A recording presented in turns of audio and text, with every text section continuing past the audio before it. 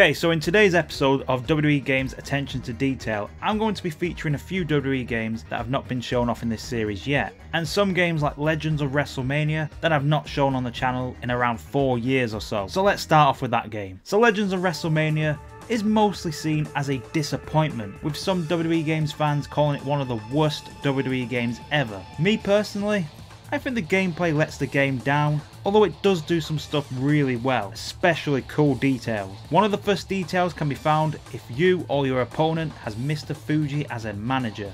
During the match, a special move that sees Mr. Fuji throwing salt in the opponent's eye can be triggered. If done successfully, then you'll see this happen.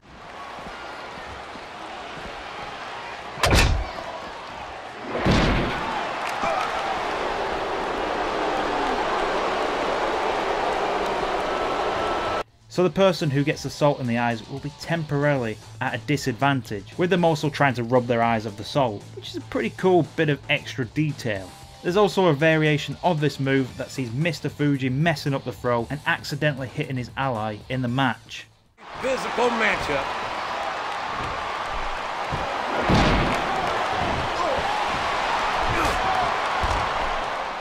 The manager system was a real cool feature of Legends of WrestleMania. I think it does deserve a lot more praise and attention. Continuing on with Legends of WrestleMania, the game has a mode similar to the current showcase mode that we have in WWE 2K games. This mode was called Relive, and the aim was to do just that.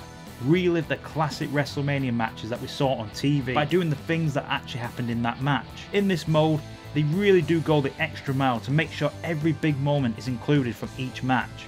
So much detail in fact that there are moments that were in Legends of WrestleMania's take on a WrestleMania match than the WWE 2K games take on that match.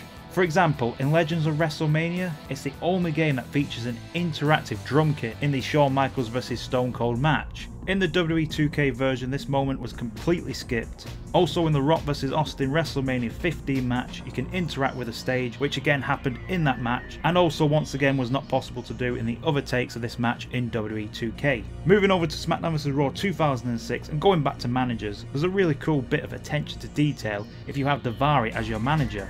Throughout the match you'll hear Daivari shouting things, which I have been told is in the Farsi language. Have a listen to these shouts, and if anyone does speak the language, I'd love to hear what's being said. Let me know in the comments. Entertainment in the world? I don't know what is. Whether they're in America, in Canada, or anywhere else in the world, the Raw superstars never failed. Continuing on with SmackDown vs Raw 2006, if you win a normal match really quick, you'll hear post-match commentary where the commentators are surprised but understandable that the loser got whooped and the match has ended early. You talk Here's about your a winner, restaurant quality beatdown. The There's no superstar. question who won that one. Not after the referee counted the three count, JR. That's about as decisive as you can get. What an amazing match. I certainly would not be adverse to seeing a rematch. However, if you win a ladder match really quick, like in under one minute, then the commentators will be noticeably angry that the match ended so quick. That's it? No.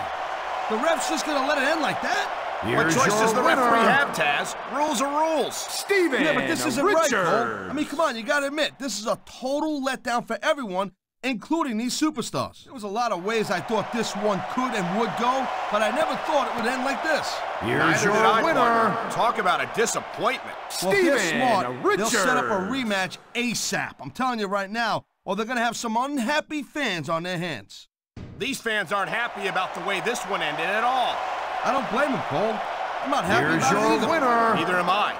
That kind of finish leaves a bad taste in your mouth. Boy, I don't think anyone's happy with the way that one ended. I'm sure not. What a letdown, Here's your JR. winner, We can only hope The for a rematch because I don't think this settled anything.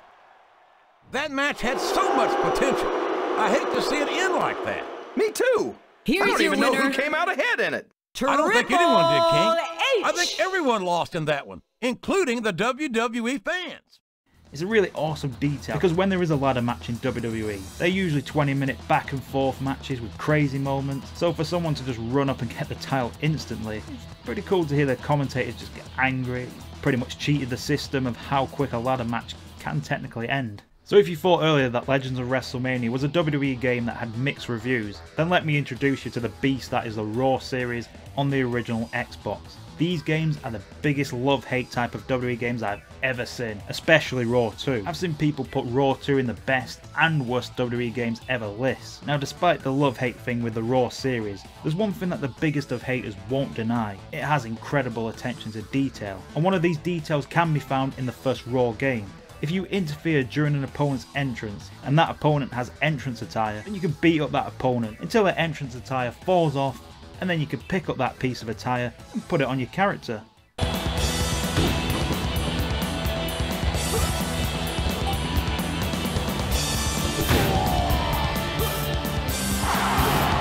It's a really underappreciated and fun feature in WWE games, and whilst also being a fun piece of attention to detail because entrance attires don't just disappear do they? Let's move to the next game in the series, Raw 2, and whilst this detail was also in Raw 1, I thought it was better to show the Raw 2 version, as there's more examples to show. So in Raw 2, if you hit a big move like a finisher for example, you'll see a replay of that move whilst also being able to continue the match. This feature or detail has only been seen in the Raw series games, and has never been in any other WWE game ever. In all other WWE games, the action will pause for a full screen replay, with the Raw games allowing the action to continue like on TV. An awesome detail right here. Keeping with Raw 2 in the season mode, you can make allies and enemies by doing a bunch of different things. Keep interfering and attacking superstars? Well you're now enemies. But if you keep checking up on your allies, make sure they're well and doing good, you'll actually have a chance of your good actions being rewarded. Sometimes after your match, you might get sneak attack, and if you have been building your relationships with an ally, then you actually see this scene of your ally helping you during a post-match attack.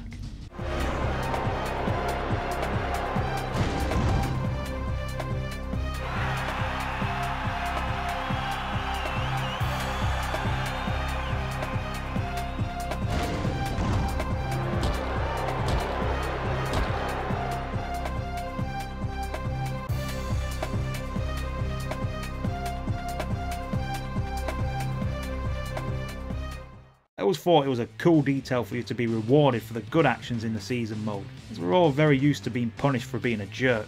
And the last detail that we'll look at today is found in WWE 2K15 Showcase mode. If you play through the Best Friends Bitter Enemies Showcase that retells the feud between Shawn Michaels and Triple H in 2002 to 2004, then you'll have to recreate the three stages of Hell match from Armageddon 2002. The last match is a ladder match, and the big ending to the match is Shawn Michaels being pushed off the ladder into four tables. Now in the actual match, one of the tables didn't break at all and kind of fell to the side. That moment is actually perfectly recreated in this scene and wasn't altered in any way to be like a perfect break of four tables. Let's take a look at it. All he's got to do is climb that ladder.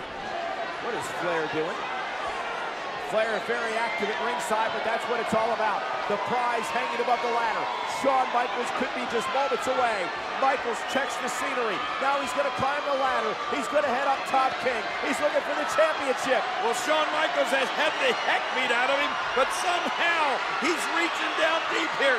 Make that last rung. Oh, look at this. Triple H. Ah! Michaels sent to a table. What a spill. Oh, my God.